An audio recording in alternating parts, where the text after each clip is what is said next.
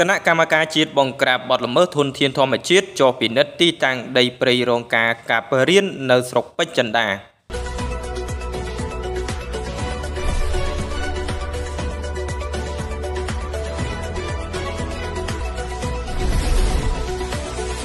ដេលីខ្មែរ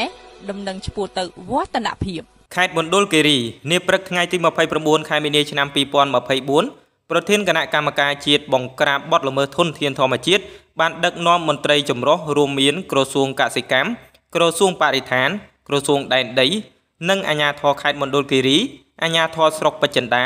ចុះពិនិត្យនិងចាត់វិធានការទប់ស្កាត់ដើម្បីរក្សាសម្បត្តិជាតិទុកសម្រាប់កូនចៅជំនាន់ក្រោយនាយឧត្តមសេរីសៅសុខាមេបញ្ជាការរងកងយុទ្ធពលខេមរៈភូមិន្ទនិងជាមេបញ្ជាការកងរាជអាវុធហត្ថលើផ្ទៃប្រទេសនិងជាប្រធានគណៈកម្មការជាតិបង្ក្រាបបទល្មើសធនធានធម្មជាតិមានប្រសាសន៍ថា ករណីនេះកម្លាំងជំនាញនិងអាជ្ញាធរត្រូវចោះស្រង់ទិន្នន័យដីព្រៃដែលរងការបំផ្លាញឲ្យបានជាក់ដើម្បីងាយស្រួល កំណត់អំពីដីព្រៃដែនដែលត្រូវអភិរក្សឬដីព្រៃសហគមន៍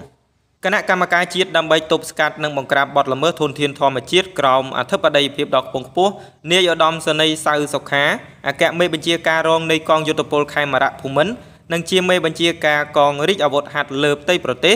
និងជាប្រធានគណៈកម្មការជាតិបង្ក្រាបបទល្មើសធនធានធម្មជាតិកិច្ចប្រជុំនេះកាលពីថ្ងៃទី29ខែមីនាឆ្នាំ2024នេះដដែល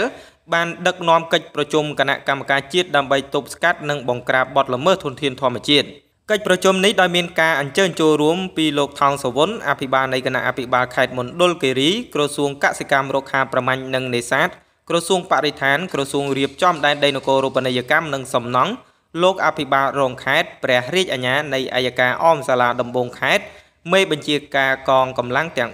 3លើសពីនេះមានការចូលរួមពីនាយកនាយករងរដ្ឋបាលសាលាខេត្តប្រធានមន្ត្រីអង្គភាពពាក់ព័ន្ធអភិបាលក្រុងស្រុកទាំង5មេឃុំចៅសង្កាត់មន្ត្រីជំនាញពាក់ព័ន្ធប្រធានសហគមន៍ដីធ្លីនិងប្រធានសហគមន៍ព្រៃឈើដែលកិច្ចប្រជុំនេះប្រព្រឹត្តទៅនៅសាលប្រជុំអគាររដ្ឋបាលសាលាខេត្តមណ្ឌលគិរី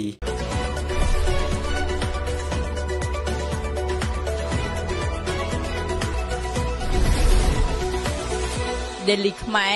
ដំណឹងឈ្មោះទៅវឌ្ឍនភាព